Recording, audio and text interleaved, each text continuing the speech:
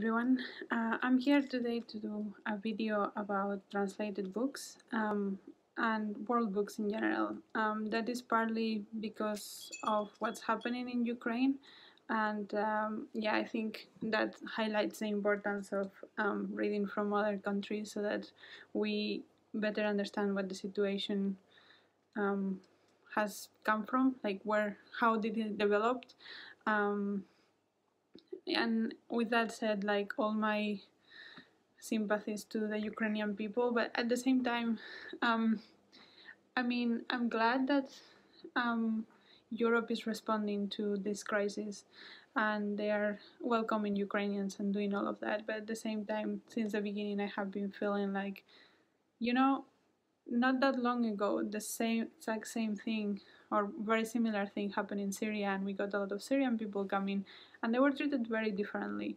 Um, so it icks me a little bit that um, now because they're Ukrainians and they're Europeans and they're white, they're being treated like this. Which don't get me wrong, it's it's great that they are being welcome and yeah, I'm, I'm, all my sympathies with the Ukrainian people, but at the same time, yeah, we, why cannot we extend that to other people as well that are not European? Um, but yeah, uh, rant about that over. Um, yeah, I, I thought um, I will talk a little bit about um, my experience and my relationship with translated books. Um, and world books as well.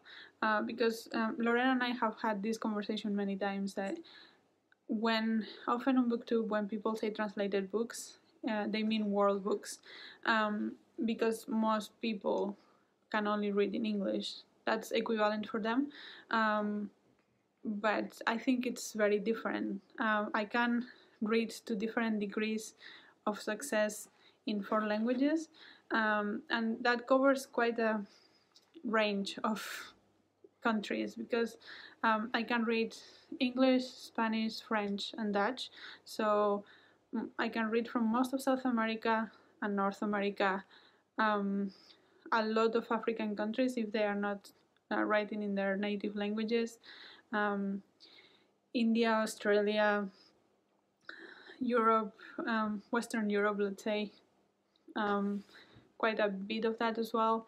Um, but so when I, I I love the fact that there are translated books so that I can also read from Asian countries and Eastern European countries, which is probably the place where where I need translations the most. Um, but yeah, let I, I think it's important to make that differentiation between translated books and um, yeah, and world books. Um, also because there are other books written in English that are also from countries like um, Nigeria or Kenya. Some people choose to write in their native languages, and some people choose to write in English or French. So, um, yeah, that also has to be acknowledged. And the other reason that I was thinking about this as well is because I'm currently judging the Booktube Prize in translated fiction, which is a new category, um, and the the process of judging books is different from just reading them, right? Um, so for me, uh, it has come with a series of realizations about which books um, are translated and why sometimes people treat it almost as a different genre, which obviously it's not. It's just the same stuff but written in a different language. Um, but yeah, it is treated quite a little bit different, I think, because there are some. Um, it's not like there, there are similar characteristics between translated books, but there are similar characteristics between English books normally, or the, the ones that are widely available, uh, and that's other translated books don't have. Um, it's it, it's more than just the fact that it's from different countries, but also books come from different literary traditions and they have different kind of styles. They have different topics. Uh, I find often that um, translated books are more open to new ideas and more, um, how to say that, like more um, less polite, let's say, um, about the topics that they cover. Um, I find that especially nowadays there are a lot of English books that are written um, like to explain a topic to you. Uh, so let's say racism or transgender or and it's the, the story suffers from those things and they are trying to also present those topics in a way that is not going to offend anyone too much uh, because they have um, let's say an agenda writing those books and trying to make people um, engage with those topics which is great people should engage with those topics but i feel like it's more often the case in translated books that authors don't don't feel that they need to sugarcoat everything and they don't um, they are not afraid of offending the reader sometimes because that's the way that they are going to react um, to that topic. And if they feel offended they might start thinking why they are offended by something like that um, so they are more um, more open to um, to touch topics that might be taboo in in English speaking um, books. Um, and of course, there is also the fact that they're in different countries and different traditions, so they will treat things different. Let's say, like Japanese writing often has this naive, magical feel to it, even if it's not magical realism. There is a certain um, touch that many Japanese writers have or again like the magical realism in South America. And also, I find in South America many many books are really brutal, uh, and they don't um, shy away from the gore stuff. Um, so there are things like that that you can find in different traditions, and I think it's it's interesting to to read different places because you find all of these different techniques and ways to tell stories that you might not have if you only read books that are, have been written in English. Another thing that I found interesting in the in the um, Booktube Prize judging is the fact that I, had not think, thought about this before, but it's not that the books are from different countries alone, but they are sometimes also from different times because um, books can be translated many many years after they have been written in their original language. So you get books that um, are from other times um, that are new. Let's say, like I think last year we had the memory. Po- last year, the year before, the Memory Police, which was written in the 80s actually and was recently translated. Um, in my Booktube Prize uh, judging, um, there is a book that was written in 1938 that has just been translated recently.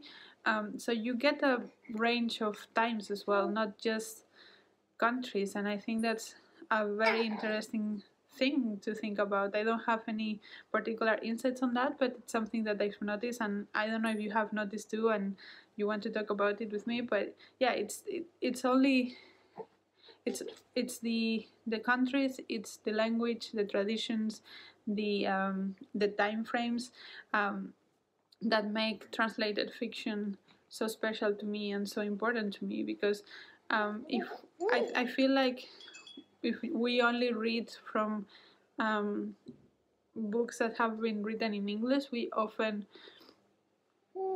end up with like a pattern of book and it's it at, at some point it feels it's always the same stuff over and over again.